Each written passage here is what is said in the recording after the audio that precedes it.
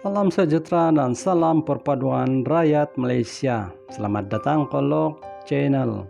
Jika Anda masih baru dalam channel ini, jangan lupa tekan subscribe, like, dan share agar Anda tidak ketinggalan berita-berita artis dalam dan luar negara. Berita ini dipetik dari Roti Kaya.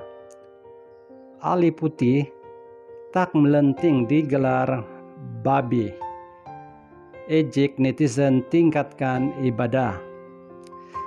Sebut nama Ali Putih pasti ramai tahu pelawak itu sering dikecam susulan ke mulutnya dengan kakak iparnya Siti Nur Hidayah. Baru-baru ini perkongsian Ali menjadi perhatian apabila memuat naik komen seorang netizen yang yang sanggup mendoakannya agar tidak dapat melunaskan bayaran RM 60.000 kepada Nur Hidayah. Malah, individu itu juga turut menggelarnya sebagai babi serta berharap pelawak itu diberi belasan sengsara di dunia dan akhirat.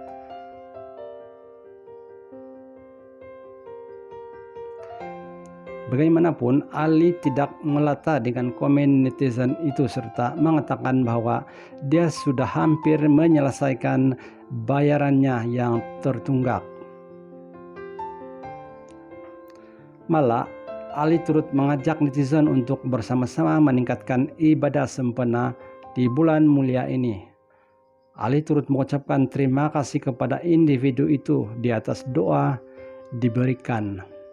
Terdahulu, Ali berkata dia berjanji akan melunaskan bayarannya kepada Hidayah sebelum Hari Raya Adil Fitri tahun ini. Terima kasih karena sudi menonton video saya.